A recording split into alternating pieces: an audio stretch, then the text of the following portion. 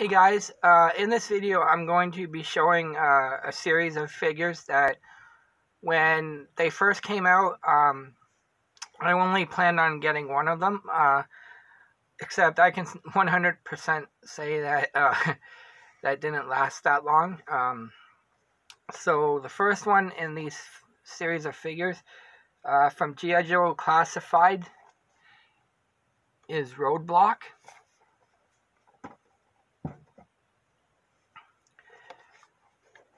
Snake Eyes, uh, this is the one figure that I was only going to get, but like I said, uh, it didn't last that long.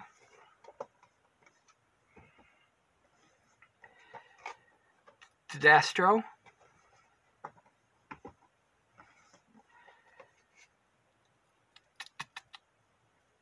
Duke.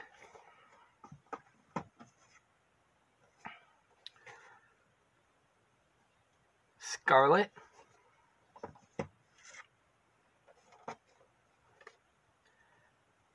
Cobra Commander.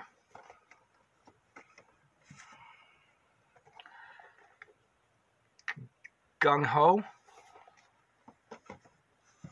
And next one is one that I did not ever think I was going to be able to get, but I want to give a huge thank you to Matt uh, for hooking me up with this one, and that's Red Ninja. Uh, the next few are ones that uh, are Target exclusives in the States, but here uh, in Canada, they were Toys R Us exclusives. And that's. Um, took me a while to track the Cobra Island ones down, but I end up getting them. So there's the the first one. Uh, the next one is I want to give a another big thank you to to Poe. Uh, he ended up grabbing me this one because uh, here at Toys R Us they didn't get it, but they did near him. So he was nice enough to grab it for me, and that's Roadblock.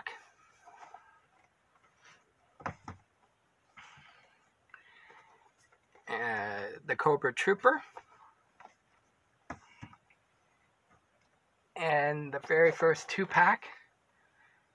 Uh, Baroness and the Cobra Coil.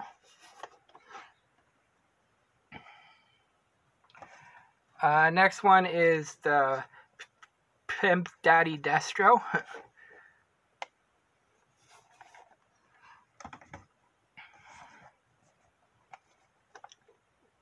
Zartan. And the Cobra Infantry. Uh, I got Lady Jaye and um, one other one on pre-order. I can't think of his name right now.